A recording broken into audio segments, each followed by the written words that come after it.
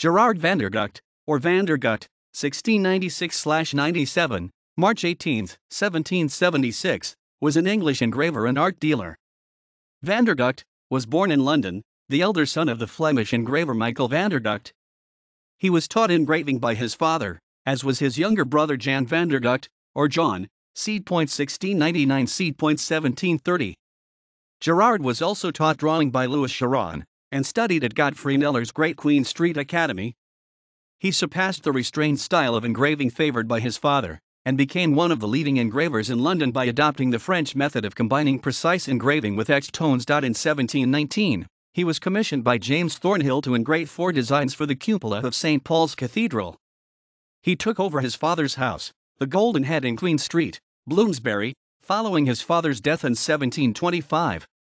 He married Mary Liney on August 24, 1725.